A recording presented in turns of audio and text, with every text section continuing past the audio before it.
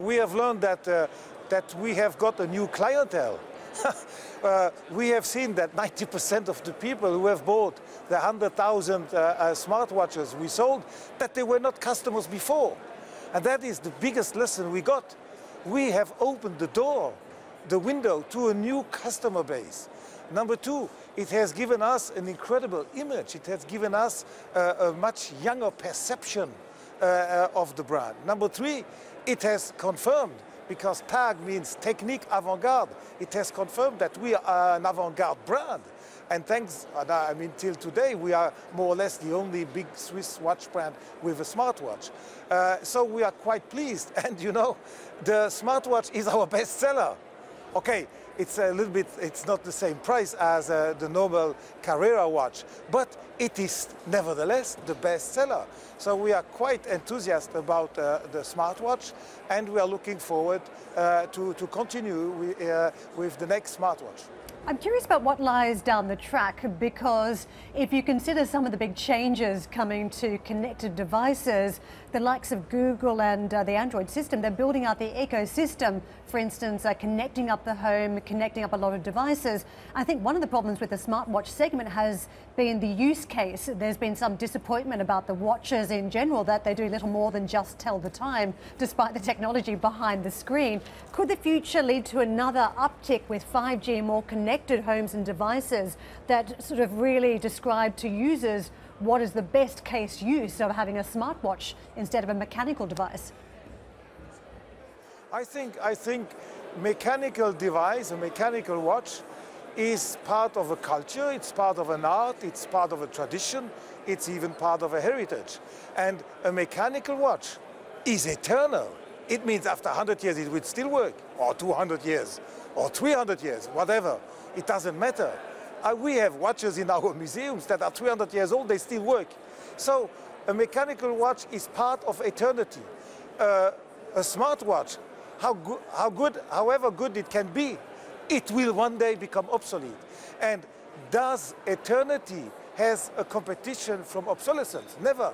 So we can see that both have the right to exist. They have other means. They have another prestige. They have even another lifetime. So there is no direct competition between a Swiss high quality mechanical watch and a smartwatch. You can have both. I can fly tomorrow to Japan with my connected watch and tomorrow night I go to the opera in Milano with my mechanical watch. Where's the problem? You can have both. It's like in French cooking. You have a glass for water and you have a glass for red wine. You don't put the, the two in the same glass. And then a glass for champagne as well. So, Jean-Claude, let me ask you... Yeah, yeah, a glass for champagne. let me ask you a little bit more about the growth in this segment, because if you break down by category at LVMH, the watchmaking jewelry division is growing at 12%, which is effectively holding its own. It's not as strong as what you're seeing in the fashion and the leather goods segment, but it's not as weak as what you're saying, seeing in, say, perfumes. But one standout that you've seen in luxury has been, for instance, what the likes of Gucci has been able to do by remaking brands, making them more fashionable, but keeping the price tags high.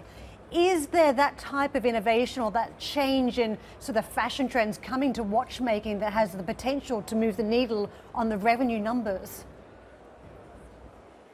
Yes, the, the, the, the watch industry has entered fashion. You see so many fashion magazines, they always have uh, one or two or three pages about watches. So uh, thanks, thanks to fashion uh, industry where we have entered, uh, they have now incorporated watches, we have been able to sell much more watches. Why?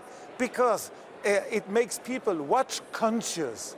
And it's always easier to sell to somebody a watch that has e either already worn one than to somebody that's never worn a watch and never heard about a watch. So the fashion industry, all these magazines, all the PR is just promoting among people that a watch can be fun, a watch can be fashionable, a watch can be status symbol, uh, a watch can fulfill a dream, uh, a watch can be eternal. Right. All these elements are helping us to promote our, our industry. Still watching? Perfect. Click here to watch another great video from CNBC International. Oh, and don't forget to subscribe. Thanks for watching.